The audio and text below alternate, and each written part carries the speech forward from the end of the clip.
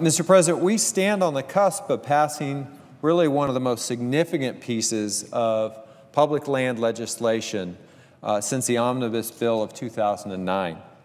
And I stand here to speak on behalf of this well-balanced package, which is absolutely critical for jobs across the western United States and, and particularly from the perspective of my home state of New Mexico. And I want to say that none of this, absolutely none of this, would be possible were it not for the years of effort and support from the local communities that helped to craft this legislation.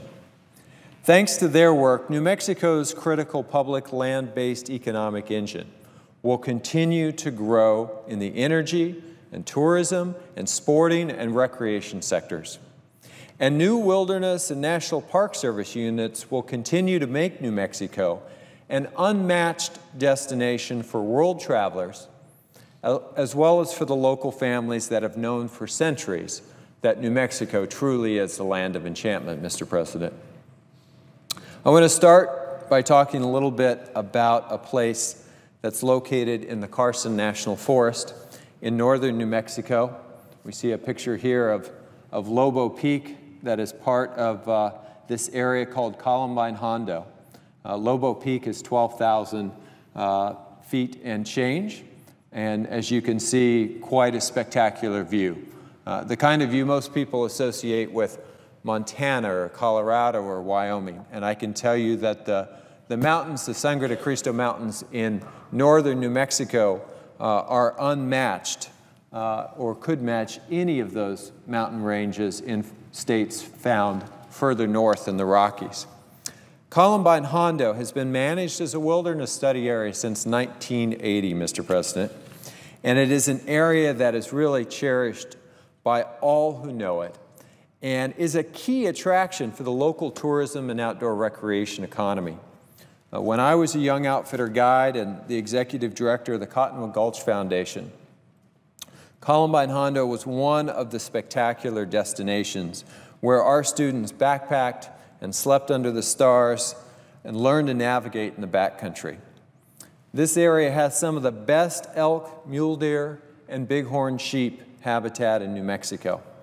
And people come from across the nation to experience a true wilderness elk hunt in its aspen and fir forests. Fishermen will tell you that is home to some of the last best habitat for our native Rio Grande cutthroat trout, which is coincidentally uh, New Mexico's state fish as well. And Columbine Hondo is home to the headwaters of the Red River and the Rio Hondo. And I can tell you that there is nothing more precious in a state like New Mexico than our water. These are major tributaries of the Rio Grande. And the snowmelt from Lobo Peak, seen here, and from Gold Hill provide critical irrigation water to local acequia associations who carry on centuries-old agricultural traditions. For millennia now, these mountains, rivers, and wildlife have supported New Mexico's traditional communities. The first evidence of human habitation here stretches back 11,000 years, Mr. President. And nearby Taos Pueblo has been continuously inhabited for more than a thousand years. Spanish settlers first came to the area in the 16th century, and Hispanic families have relied on these mountains and their bounty for their way of life ever since.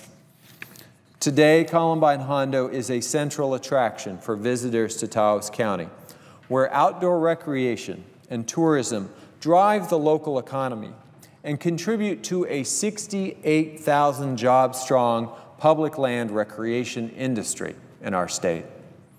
In addition to finally designating Columbine Hondo as a full-fledged wilderness area, this package would also expand the Wheeler Peak Wilderness by approximately 650 additional acres, while modifying a boundary in order to create a loop trail accessible by mountain bikes along the Lost Lake Trail from Taos Ski Valley to the East Fork Trail to Red River.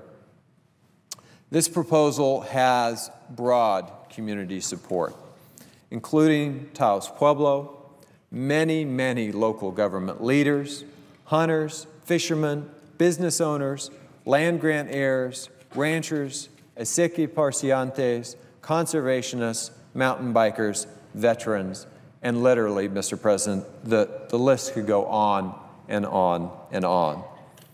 In October, on my birthday, um, I couldn't have asked for a better birthday gift. I was able to join the Columbine Hondo Wilderness Coalition, as well as regional stakeholders and local elected officials for a hike into the area to highlight the conservation and water initiatives uh, that they support.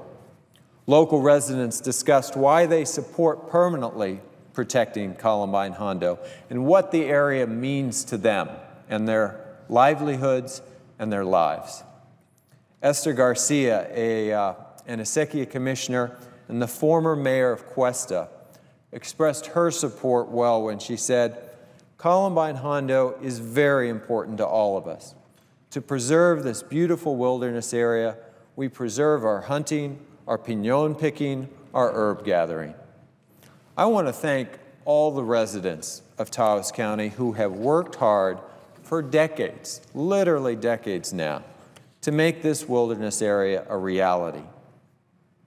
Now, Mr. President, also included in this public lands package is a provision to transition the Valles Caldera National Preserve in New Mexico to new management to increase public access. This proposal was developed after extensive input from local residents, from sportsmen, business owners, elected officials, and is supported by a number of local chambers of commerce. Together, they decided that a national preserve managed by the Park Service with a mandate for hunting and fishing to remain central to the management of the area was the best way to ensure expanded public access while preserving the incredible landscape for future generations. As you can see from this photo, Mr. President, Valles Caldera um, is often called New Mexico's Yellowstone, and for a reason. It is literally an area that is created as a collapsed supervolcano where cinder cones rise up out of the high elevation grasslands and where the, the cinder cones and the mountains that encircle this collapsed crater um, are, are covered in Doug fir and fir and aspen forest. It is a spectacular, spectacular landscape. The caldera is home to crystal, crystal clear trout streams and, and some of the best elk habitat in the country. And since this area was um, transitioned to public ownership, the preserve has been managed by a board of trustees charged with generating enough revenue from user fees and other sources to make the preserve financially self-sustaining. Literally the same model used for the Presidio in San Francisco. But as you can see, this is not, Mr. President, San Francisco. This management regime has led to really drastically limited public access, with relatively high entrance and permit fees, locking many New, Mexico, New Mexicans and other Americans out of this public land. And by shifting to Park Service management, we can open the Valles Caldera to the public while conserving the incredible, really one-of-a-kind, unique resources that are found here. As someone who's been lucky enough to draw an elk tag in the caldera, Expanding hunting opportunities for the public is one of the primary reasons that I'm supporting this proposal. The preserve model ensures that hunting and fishing remains a central activity for the public to enjoy. And National Park Service management will help balance expanded public access with conserving both the natural and the incredible cultural resources that are found in this area. Park Service management will also help bring more visitors and will raise the national profile of the preserve for visitors from outside New Mexico. The increase in visitors at the preserve is expected to bring more than 200 jobs and $8 million in wages to the local communities in the region. And that is great news for places like Los Alamos, Espanola, and Jemez Springs. We've seen elsewhere how protecting public land spurs economic development. According to the Headwaters Economics, or to Headwaters Economics, rural counties with protected federal lands like national parks and preserves saw a 345% increase in jobs over the last four decades, whereas rural counties without commensurate protected public lands saw job increases of only 83% in the same period. I want to thank the local community and all the elected officials who have worked so hard for decades to make this proposal possible. And I want to thank Senator Tom Udall and former Senator Jeff Bingaman for their leadership on this issue. We all literally stand on the shoulders of giants in this community effort, as it was Senator Clinton P. Anderson of New Mexico who helped pass the Wilderness Act, who first proposed National Park Service management of the Valles Caldera in the early 1960s.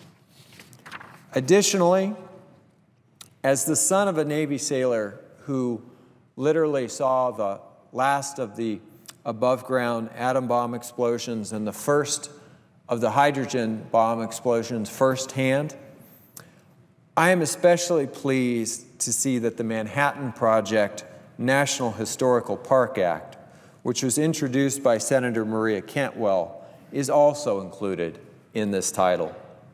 It will establish three different educational sites, one in Los Alamos, New Mexico, one at Oak Ridge in Tennessee, and at Hanford in Washington.